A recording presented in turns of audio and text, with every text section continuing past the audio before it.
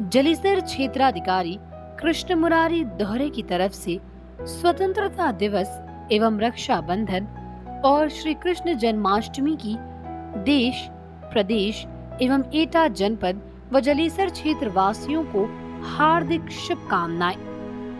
जलेसर क्षेत्र अधिकारी कृष्ण मुरारी दोहरे ने नगर वासियों से अपील की।